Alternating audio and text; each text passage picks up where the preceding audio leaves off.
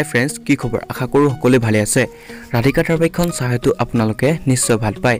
আৰু আজিৰ খণ্ডটো সঁচাকৈয়ে বহুত বেছি ইণ্টাৰেষ্টিং হ'বলৈ গৈ আছে।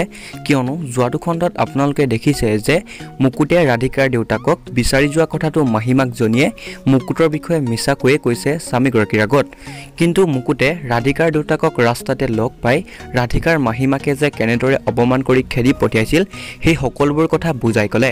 আৰু মুকুটক দেউতাকে ঘৰলৈ নি পত্নীগৰাকীৰ আগত এই সকলোখিনি কথা ক'বলৈ কয় আৰু ইফালে মুকুটহঁতে যে আকাশৰ বিয়াৰ বাবে মাকৰ কিছু অলংকাৰ গাঁৱৰ মানুহ এগৰাকীক বিক্ৰী কৰিছিল সেই মানুহগৰাকীক ৰাধিকাই দিয়া কেছটোৰ সম্পৰ্কে সোধা পোছা কৰিবৰ বাবে মাতি নিছে পুলিচে বন্ধুসকল আপোনালোকে বাৰু এই সম্পৰ্কে কি ভাবে? গাঁৱৰ সেই মানুহগৰাকীয়ে পুলিচৰ আগত মুকুটহঁতৰ বিৰুদ্ধে কিবা কথা কৈছে নেকি?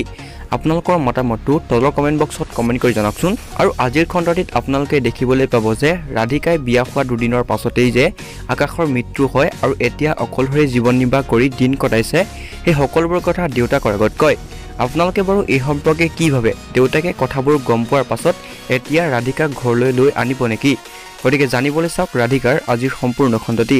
আৰু যদিহে এতিয়ালৈকে চেনেলটো ছাবস্ক্ৰাইব কৰা নাই তেনেহ'লে প্লিজ ছাবস্ক্ৰাইব কৰি কাষতে থকা বেল আইকনটো প্ৰেছ কৰি ল'ব।